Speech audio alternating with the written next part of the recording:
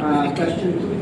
Um, uh, to Mama Julia, are you planning to visit the Tuloy Foundation again and continue funding them to continue your advocacy? Um, we're going tomorrow. Um, you know, Father Rocky means a lot to us. He's part of our family. He came, he gave a message to all the world um, because we had him on camera and the whole world saw him.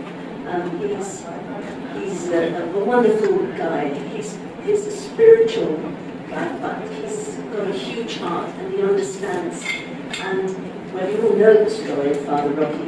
And if you don't, it will be great help if you guys who have the ability to put it across would go and see him and just get some results. You know, he's he's raised children from nowhere in their lives, no hope, um, to being top stars in all kinds of professions. Just read about him, learn about him, and know that even if you start off with nothing, um, you can, through people like Father Rocky, realize more than your dreams, but you're given the opportunities that other children have. But although they're all in a school together and they're all playing football and arguing, fighting and learning together, they're a home, they're, he, he has a heart for them, so they feel quite confident. They're not ordinary children, they're rich children. They're rich in spirit and rich in determination. And if you look back at his history, today, if we could ask all the children that have been with Father Rocky, you'd be surprised amongst them. You've got architects, lawyers, doctors, and all kinds of professions.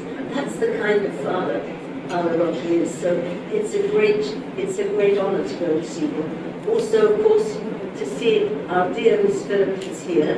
Her, her, her mother and her worked so hard. And the school they're building, well, we should all be part of that. And whatever someone's trying to do for the good, doesn't it make some good news for once? We hear so many bad things. Sometimes let's have something good and recognize youth doing useful but good things. So for me it's a great honor. I love being here and I hope we'll go on seeing each other. I'm very old now, but I hope for at least another hundred years I can come and see you. Thank you.